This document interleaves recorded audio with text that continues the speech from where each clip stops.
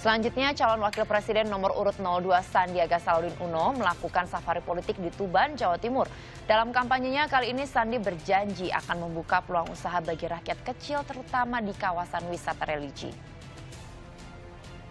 Calon Wakil Presiden nomor urut 02 Sandiaga Salahuddin Uno ini melakukan senam bersama para simpatisan di Pantai Kelapa, Kecamatan Palang, Kabupaten Tuban, Jawa Timur, Jumat pagi. Ini bersama ratusan simpatisan dan pendukungnya, Cawapres nomor urut 02 mengajak para pendukungnya menjaga kesehatan agar bisa hidup sehat. Usai melakukan senam bersama, Sandiaga Uno kemudian berziarah ke makam Sunan Bonang Tuban dan di hadapan para pendukungnya Sandi berjanji akan membuka peluang usaha bagi rakyat kecil terutama di kawasan wisata religi.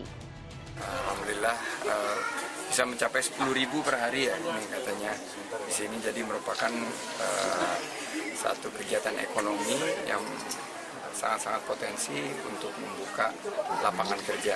Bisa kita kembangkan lagi untuk memperkuat perekonomian di Tuban. Tuban punya sumber daya alam, tapi juga punya daya tarik uh, pendorong ekonominya seperti wisata religi.